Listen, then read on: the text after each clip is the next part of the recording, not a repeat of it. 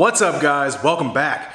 Today we are diving back into the 07 K-swap on my 944 race car. We got the prototype oil pan finished. And that means that we get to throw the clutch, flywheel, bell housing, all that fun stuff on the oil pan and we get to mount this thing in the car for the final time. But before that, I got a lot of stuff that I got to do to this engine before we stab it back in the car. I started by pulling the engine out of the car, and then I went ahead and pulled the front accessory bracket. When I originally clearanced the front accessory bracket to fit the intake manifold, I did it with a Sawzall, and it wasn't real pretty, so I went back and cleaned all that up, and then I spray painted the whole front accessory bracket with a high temp black engine paint just so that it blends in a little bit better. Next up, I pulled the header off because I needed to replace the header gasket as well as I need to block the EGR ports on the head. I whipped up a couple carbon steel brackets,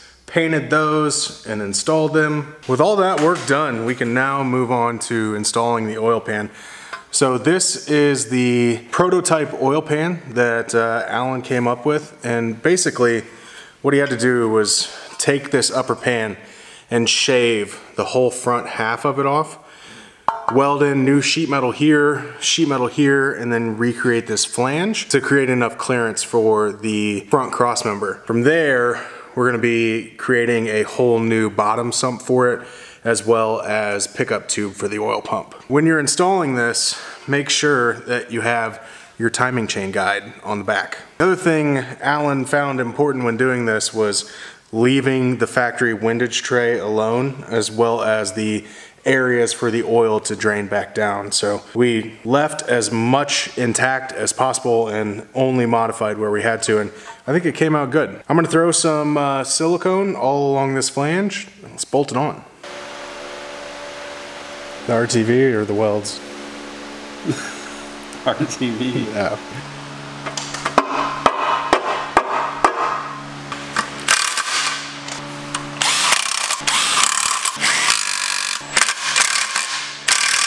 Okay, the oil pan is now on.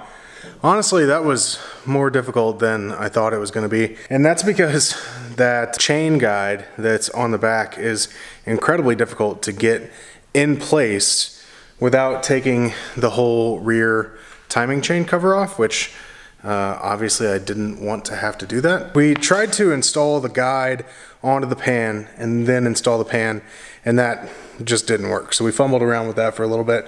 And then finally, I just took the guide off and I put it into place uh, and it actually sits there and is held captive pretty nicely. And then I was able to guide the oil pan in and those pins into the guide and we had it done pretty quickly. So whenever you go to do this, that's what you need to do. Now, we finally get to install the flywheel and clutch. All right, I went ahead and installed the flywheel. The flywheel and clutch package that we're using is from Spec. They put together this kit uh, solely for the 07K in the 944. This is a lightweight aluminum flywheel. It has a replaceable uh, surface area, which is really nice. And then we've got the uh, 9X Engineering pilot bearing adapter hooked up as well. I went ahead and torqued all this down to 64 foot-pounds. And it looks good. Next up is the clutch itself. I went with a stage three from Spec. So this uses a six puck disc, some sort of crazy friction material. I don't know, but it's gonna hold up to this build. It'll hold up if I decide to turbo it, whatever I do, this is gonna be good. Let's get this bolted on. Also, you'll want to note, there's a sticker that says flywheel side. Make sure that you install it correctly.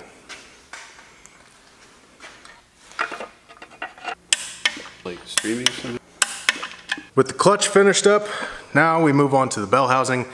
I've showed this to you in other videos in this series. Uh, you can now see that the Solstice GXP throwout bearing is installed. So let's slap this thing on.